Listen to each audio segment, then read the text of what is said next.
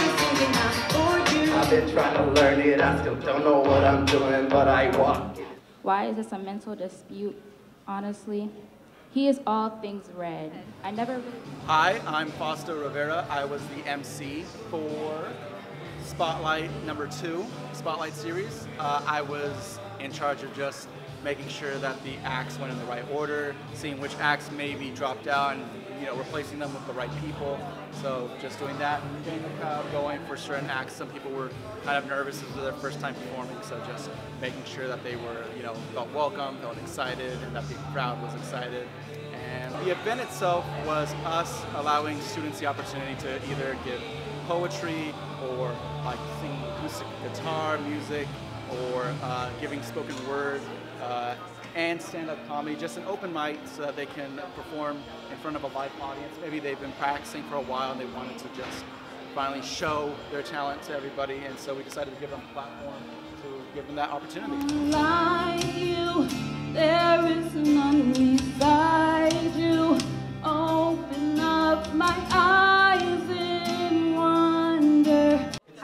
Hi, my Royal Wallace, and I performed "Build My Life" by House of Flags. Um, it was a little nerve-wracking since I really didn't like just practice. It's a song I knew, but um, the crowd's energy uh, made it a little bit better. In the arms of those around me, holy, there is no one like you. My mind went blank. Not because I was so happy, but mostly because I thought, man, I never thought I'd get this far.